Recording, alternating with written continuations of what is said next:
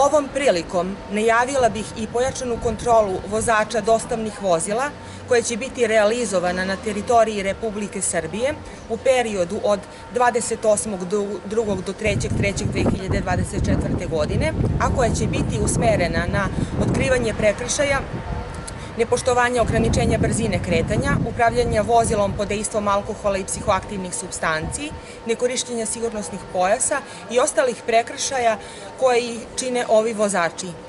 Apelujemo na sve vozače da poštuju pravila saobraćaja.